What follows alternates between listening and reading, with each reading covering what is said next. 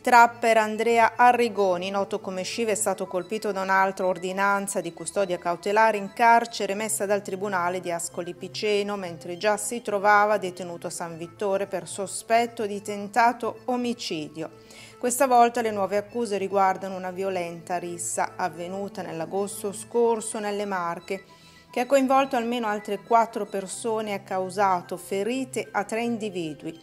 La Procura di Ascoli Piceno contesta i fatti risalenti al 30 agosto quando Shiva, mentre si trovava a San Benedetto del Tronto, è stato coinvolto in una colluttazione durante la quale avrebbe estratto un coltello, colpendo ripetutamente un individuo estraneo alla disputa. Tre persone sono rimaste ferite con prognosi da 10 a 35 giorni. Shiva è stato nuovamente arrestato il 30 ottobre insieme ad altre quattro persone e sarà interrogato dalla Procura di Ascoli Piceno. La custodia cautelare è stata emessa dal GIP che ha ritenuto sussistere il rischio di reiterazione di reati simili.